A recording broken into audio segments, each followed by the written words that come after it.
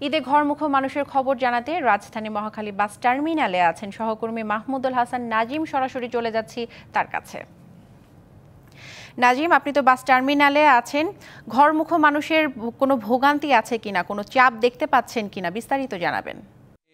শুরু থেকে যেভাবে বলেছেন যে ঈদের ঘরমুখ মানুষের কিন্তু উপচে পড়া ভিড় আমরা লক্ষ্য করছি মহাখালী বাস টার্মিনাল থেকে। আপনি যদি একটু ডিবিসি নিউজের আমরা দর্শকদের একটু দেখাতে চাচ্ছি, সেটি হচ্ছে সন্ধ্যার পর থেকেই কিন্তু প্রচুর পরিমাণে যে ঘরমুখ মানুষ যারা দেশের বিভিন্ন গন্তব্যে যাবেন, তারা কিন্তু ইতিমধ্যে এসে ভিড় করতে শুরু করেছে এবং আমরা কথা বলেছি এবং এবং তাদেরকে সাথে আমরা কথা বলেছি এবং তারা আমাদেরকে যেটি জানিয়েছেন।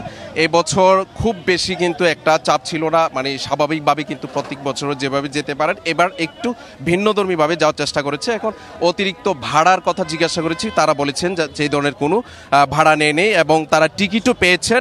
এবং আমরা বিকালের পর থেকেই কিন্তু আমরা দেখতে পেয়েছি পুরো অবস্থান আপনি দেখছেন টার্মিনালের আশপাশে কি পরিমাণ আপনার দর্শক সে যাত্রী তারা নিজের গন্তব্যে যাওয়ার জন্য কিন্তু ভিড় করছে তার কাছাকাছি আমরা জানার চেষ্টা করছি। এখন আমরা একটি বাসে যাওয়ার চেষ্টা করব এবং সেখানে যাত্রীদের সাথে একটু কথা বলব সরাসরি গিয়ে যে আসলে কি মানে এ- বছরের মধ্যে তারা যে যাত্রা যাচ্ছে, সেই যাত্রা কি মানে কোন ধরনের ইয়ে আছে?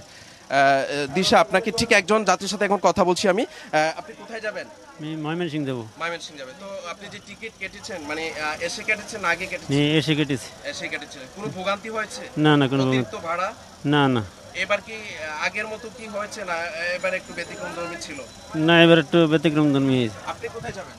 ময়মনসিং আপনি কি টিকিট আগে কেটেছেন? না এখানে এসে কাটছি। ভোগান্তি হয়েছে? No. অতিরিক্ত ভাড়া?